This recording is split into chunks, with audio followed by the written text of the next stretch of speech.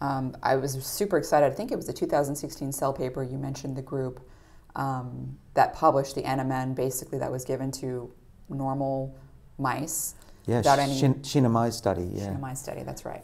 Um, and and basically, I think it was about 200 milligrams per day, like that, that dose. Because Mm-hmm. I remember looking at the dose and going, "This is significantly lower than nicotinamide riboside dose," and um, it it, it's it seemed to delay tissue aging in multiple organs. Where I mean, it was like, I don't know, did it extend lifespan? Uh, he didn't take it long enough. He ran out of material, and in those days, NMN was hard to get, and it was very expensive. It still is very expensive. We're still paying tens of thousands per kilo.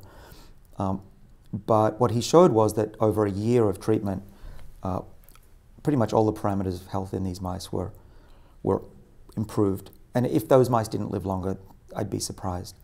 Uh, but we have done an NMN lifespan in my lab, and it's still ongoing, and it- it's been crowdsourced funded. So thank you for your donations.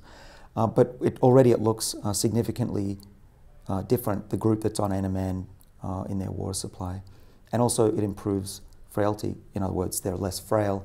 Looks like it improves heart function as well. Uh, the dose, I, I can't exactly remember what we're using. Um, it's probably around the 400, which is what's our standard dose, but don't quote me. But yeah, I, NMN uh, and NR seem to do remarkable things to, to rodents. But uh, like you say, like you brought up, the challenge is A, does it work in humans? And B, uh, if it does, what dose is necessary to get those effects? Right.